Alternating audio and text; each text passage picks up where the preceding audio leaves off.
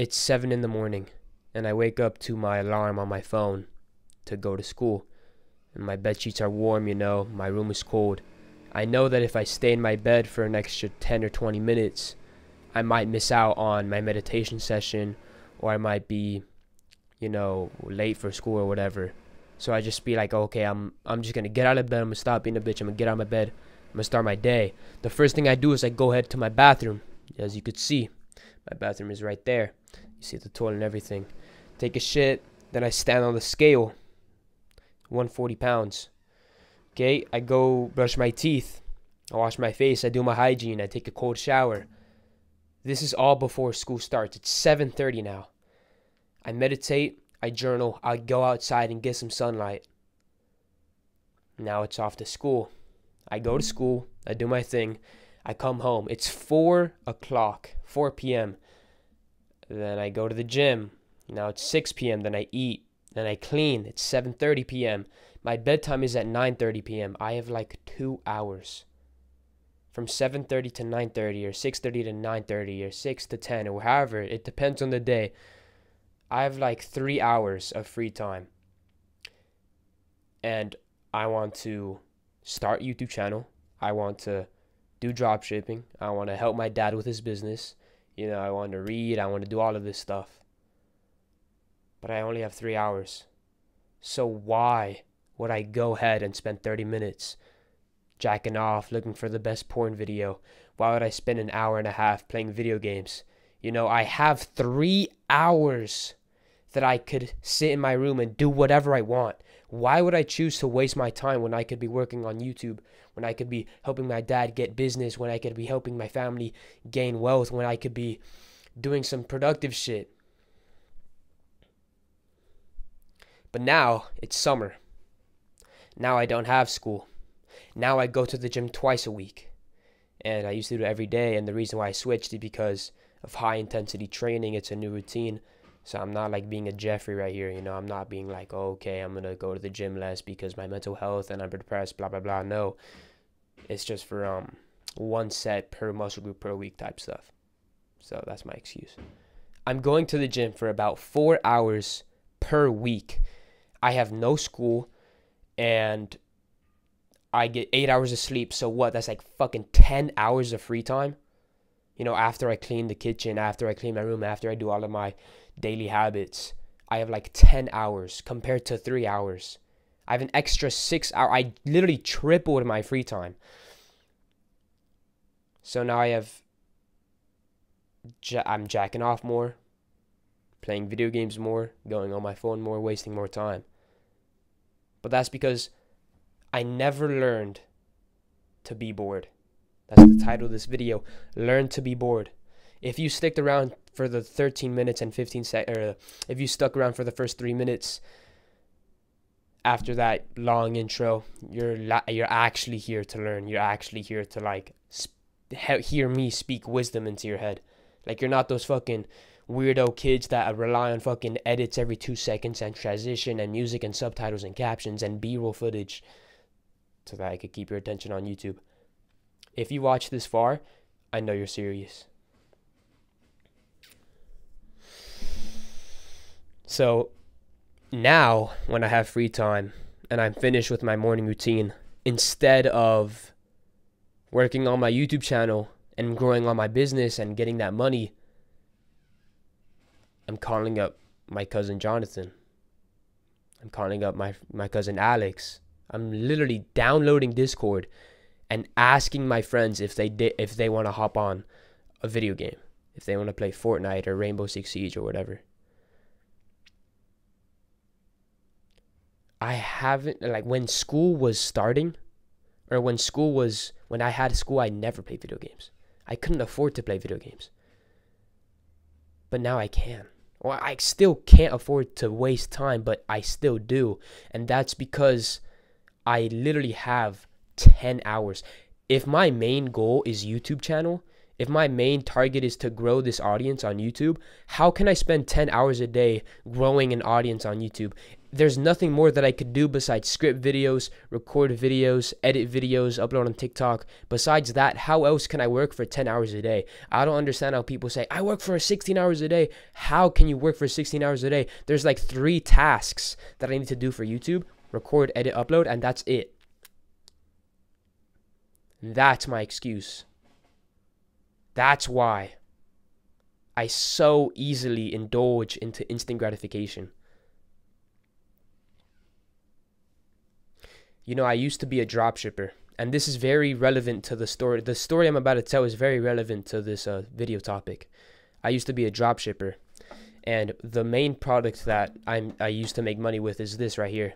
It's called a phone lock box. As you could see, you could turn it on like this and it has a timer and you can set it for like five minutes or an hour it's kind it's mirrored so you can't really read that but it says a minute and five or an hour and five minutes on you press the side button here it opens up you could put your phone in and um there's like a little space at the back where you could answer calls and music and stuff and what i would do is i would record myself on my iphone I record myself yeah I record myself on this phone get my dad's phone and record myself on my bed. I'll show you right here. I'm on my bed and I'm scrolling through TikTok, but I'm filming myself scrolling through TikTok so I can make that uh, TikTok video and I could blow up my Shopify store and I could become a millionaire or some shit like that.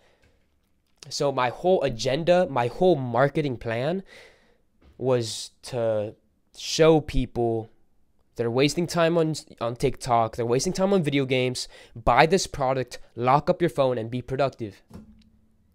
This was eight months ago. This product made me $200 in less than a week. But I stopped dropshipping because I didn't really like the process. I like YouTube way better. But now, eight months later, I'm the I'm literally acting like the guy I was making fun of in my TikTok videos. So I've been going backwards. And that's because I don't know how I don't I don't know what to do when I'm bored. But being bored is extremely crucial, guys. Let's let's talk about fapping for a second. No fap.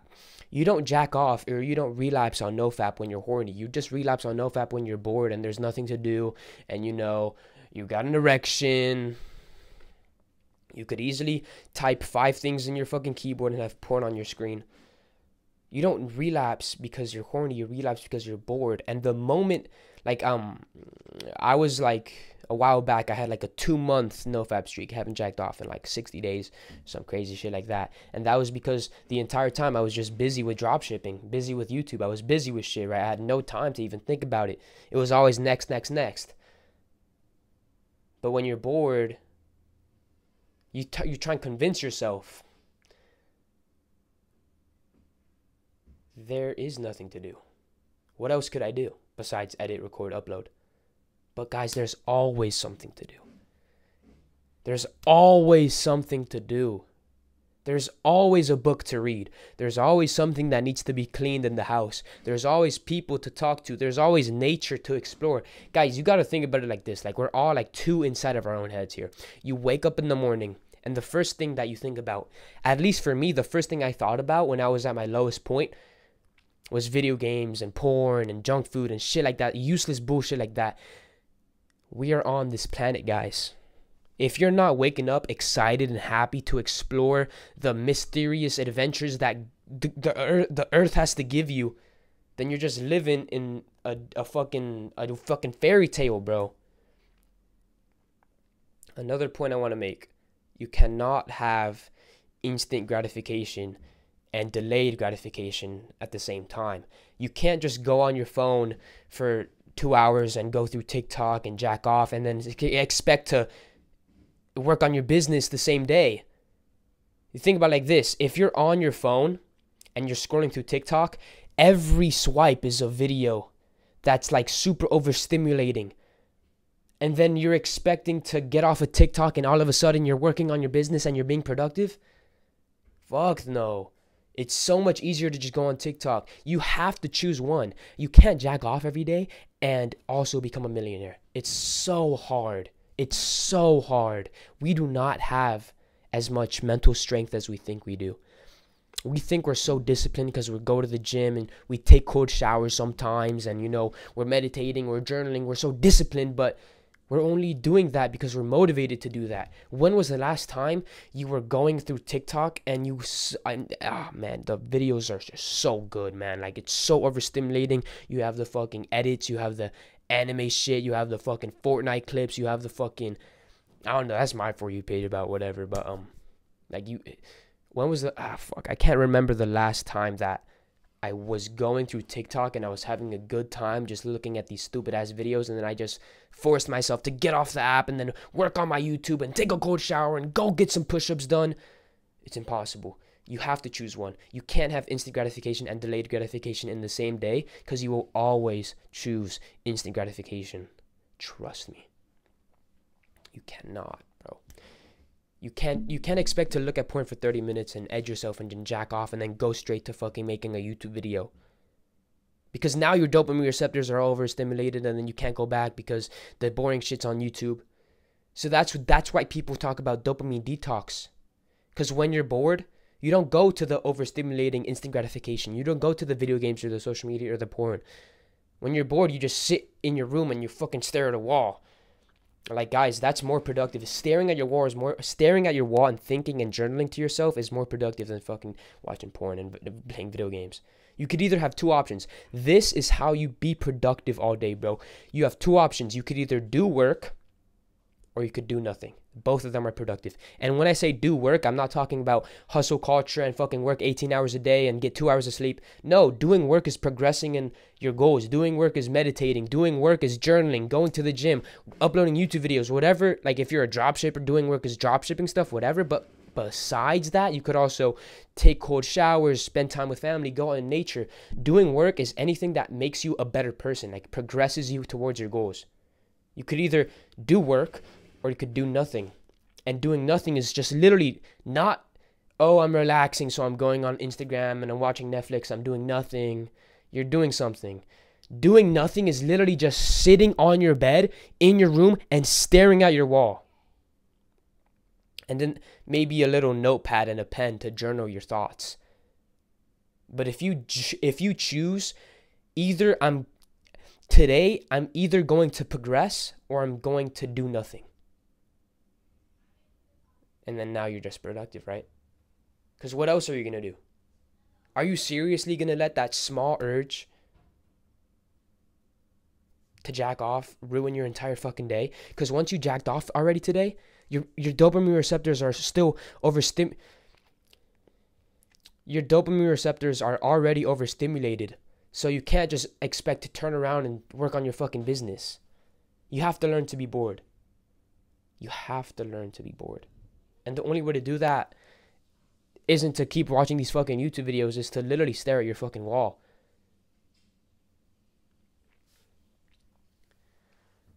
One moment. All right, let me get into my last point. There are two types of people who have a social media addiction.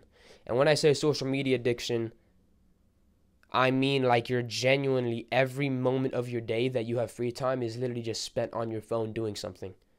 Like if you're brushing your teeth, might as well watch TikTok while you're brushing. If you're eating, might as well go on YouTube while you're eating. If you're laying down in your bed trying to relax and recover from whatever the fuck you were trying to do the other time, going through TikTok, laying down and going through TikTok. If you're in your bed about to sleep going through TikTok, that's literally a social media addiction. Of course it is. So there are two types of people who have those. The first type of person is the person who's kind of delusional. 10 hour screen time, Netflix, TikTok all day, video games. And he doesn't really like care. He doesn't really uh, feel guilty afterwards. He doesn't feel ashamed. He doesn't feel like, fuck, I did nothing today. Fuck, I spent 10 hours on my phone today. Because it's normal to him. The second type of person also has 10 hour screen time. But afterwards, he feels like fucking shit. He wants to cut that down to like two hours. They they both do the same thing. It's just a different mentality. That's what I'm saying. You cannot get off of self improvement because you you're never gonna look at video games the same ever again. Like when you play video games after you're done, you know, playing video games could be fun and all if you're with your friends and your family, whatever. But afterward, your friends are gonna be like, you know, that was a good session. I can't wait for tomorrow. Afterward, I'm all like, fuck, I shouldn't have done that. I should just work on my YouTube channel. I should have learned how to speak Spanish. I should have learned how to do all of this shit that I need to do. That's why you can never get off of self improvement. You're never gonna look at jacking off the same again. You're never gonna look at porn again. Like when you were younger, you could jack off no problem, bro. You would not have any post nut clarity. You would not have any shame after jacking off because you were young. You didn't know what the fuck you were doing. But now, you feel horrible afterwards. You feel like a fucking gremlin. This is Marcus Blake. And if you enjoyed this video, I highly recommend this video right here. Instant gratification isn't even worth it. I'll catch y'all boys later.